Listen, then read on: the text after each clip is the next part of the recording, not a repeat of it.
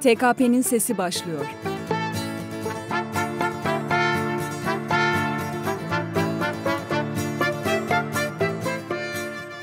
Merhaba. Bugün 27 Nisan Pazartesi.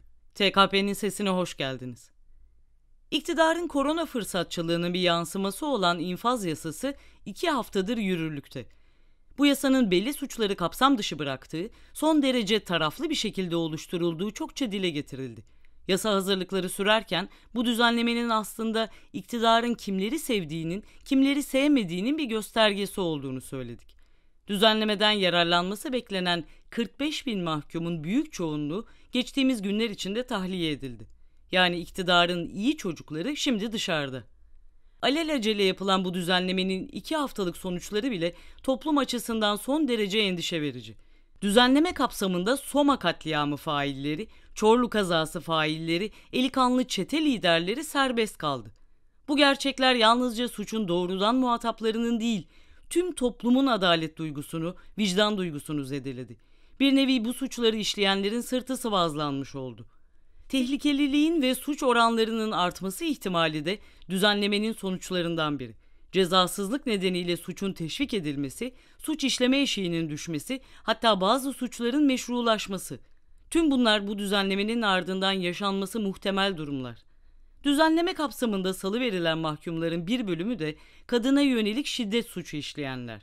Yaralama, tehdit, hakaret gibi suçları işlemiş ve hapis cezası almış olan failler yeni yasa ile birlikte tahliye kapsamında bulunuyor. Benzer şekilde kapalıdan açık cezaevine geçirilen ve salgın nedeniyle belli bir süre izinli sayılan mahkumlar da şu anda dışarıda.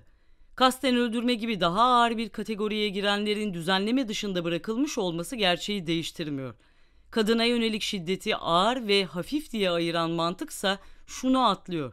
Salı verilen faillerin daha ağır suçları işleme potansiyelleri ortadan kalkmadı. Nitekim tahliyelerin ve izinlerin başlamasıyla beraber şiddet suçlarına dair haberler de gelmeye başladı. Kapıya dayanan, tehdit eden, küfürler savuranların videoları kamuoyuna yansıdı. Çıkan haberlere bakınca yasa gereği hiç vakit kaybetmeden tahliye edilen şiddet suçlularına dair olayların mağdurlarına hiçbir bilgi verilmediği anlaşılıyor. Korunmaları için hiçbir önlem alınmıyor. Sanki düzenlemeyi yapanlar faillerin tahliye edildiğinde dönecekleri yerin yine evleri, mahalleleri yani suçun işlendiği mekan olacağının farkında değiller. Neredeyse failleriyle yeniden karşı karşıya gelmeleri için ortam hazırlanıyor. Kaldı ki virüs salgını nedeniyle birçok kadın da evde şiddet gördükleri eşleri, kardeşleri ya da akrabaları ile bir arada yaşamak durumunda kaldı. Bu süre içinde evinde öldürülen kadınlara dair haberler basına yansıdı. Salgına ve evde kal uyarılarına rağmen sokak ortasında şiddet de tüm vahşetiyle sürüyor. Tedbirler nedeniyle dünyanın başka yerlerinde de şiddetin arttığına dair bilgiler geliyor. Ancak Türkiye'de bu süre içinde şiddet adeta kolaylaştırılmış oldu. Zira salgın nedeniyle ilk gevşetilen düzenlemelerden biri de şiddet nedeniyle alınan uzaklaştırma kararları. Şimdi buna bir de salı verilen suçlular eklendi. Aslında düzenlemenin bu şekilde geçmiş olması ve sonuçları ne kadar korkutucu olsa da şaşırtıcı değil. Gerici iktidarın kadına yönelik şiddetle mücadelede karnesi bu düzenlemeden önce de zayıflarla doluydu. Henüz salgın Türkiye'de ilan edilmeden birkaç gün önce 8 Mart Dünya Emekçi Kadınlar Günü'nde yapılan açıklamalar 18 yıllık iktidar boyunca binlerce kadının yaşamını yitirdiğini, çok daha fazlasının yaralandığını, büyük kayıplara uğradığını gösteriyordu. Tüm veriler 2000'li yıllarda şiddetin tırmandığını belgeliyordu. Şaşırtıcı değil. Çünkü eşitliği fıtrata aykırı gören, kadını evinde hizmet göreviyle sınırlayan, kimin kaç çocuk doğuracağını belirleyen kadını ve erkeğiyle bu gerici iktidardı. Tüm bunlara gelenek adını vererek her türden aşağılamayı, itip kalkmayı ve şiddeti meşrulaştıran onlardı. Elbette arkalarında yıllarca iktidarda kalmalarını sağlamış olan sermaye sınıfının desteğiyle. Virüs salgını bize unutturamaz. Çok değil, daha birkaç ay önce çocukların istismarcısıyla evlendirilmesi hatta tecavüz gebeliklerinin sürdürülmesi konuşulabiliyordu. 6 yaşındaki çocuklarla evlenilebilir diyen yobazlar ekranlarda boy gösteriyor ve cezasız kalıyordu. Evlenme, boşanma, medeni haklar, İslami hukukun kadınları ikinci sınıf gören esaslarına göre belirlensin deniyor, müftülere nikah yetkisi meclisten geçebiliyordu. Hakarete uğramak, iş yerinde mobbing görmek, ekonomik haklarından mahrum bırakılmak, ucuza çalıştırılmaksa istatistiklere yansımayan gerçeklerdi.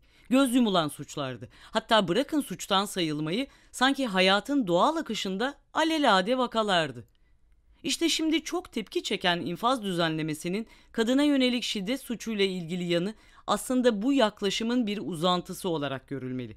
Ortada bir ihmal ya da istemeden pakete dahil olma gibi bir durum yok. Hukukun diliyle söyleyecek olursak taksir değil açıkça kasıt var. Bu doğrultuyu gören ve bununla mücadele edenlerin sayısı da hiç az değil. Kadına yönelik şiddetin son bulması talebinin arkasında her gün daha fazla insan örgütleniyor.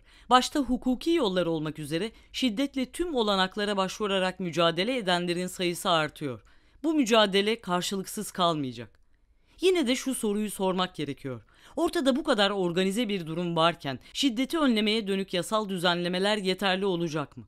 Elbette gerekli hukuki düzenlemelerin yapılması, en üst düzeyden cezalandırılması, arkasında vazgeçmeden durulması gereken bir talep. Ama unutmayalım, şiddet boyun eğdirmenin, tahakküm kurmanın bir yolu. Günümüz için söyleyecek olursak, sömürüyü kolaylaştıran mekanizmalardan biri. Bu nedenle şiddetle mücadele etmek yalnızca şiddete yönelik ceza düzenlemeleriyle bitecek bir iş değil. Bir bütün olarak meşruiyetini ve hizmet ettiği amacı ortadan kaldırmak gerek. Şiddeti besleyen damarların hepsini tek tek kesmeden, kadını mülk haline getiren düzeni ortadan kaldırmadan bu sorundan tamamen kurtulmuş olmayacağız. Pandemi bize yaşama ve sağlık hakkının kapitalist düzenin insafına, daha doğrusu insafsızlığına kaldığını açıkça gösterdi. Kadına yönelik şiddet de bu insafsızlığın bir yüzü. Öyleyse tüm nedenleri birlikte yok etmek için düzen değişikliği saflarına.